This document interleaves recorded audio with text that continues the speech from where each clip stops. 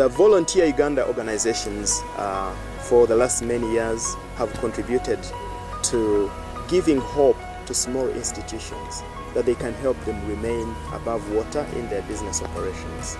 Uh, we have built many schools, uh, we have provided books, we have provided infrastructure, and now we are providing human resource.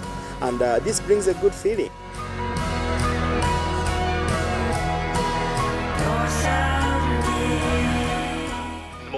Do come out here will make much more of a bigger difference uh, in terms of the livelihoods of the children and the teachers and the schools that we get involved with out here. So, so the more people, the better.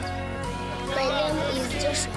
I like some school because I I I come for volunteer to get knowledge.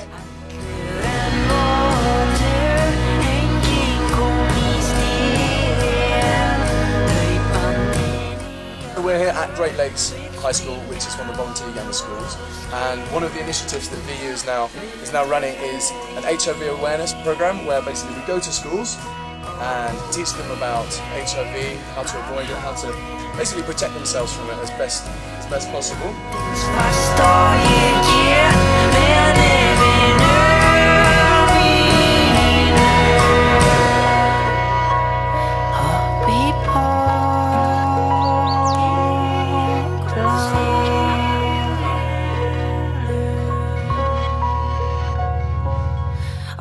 One of the first things we did really was the bungee after it gave a really really good start to the six weeks and the bungee was incredible. Going on safari was just a real chilled out break for us and we're really excited about it.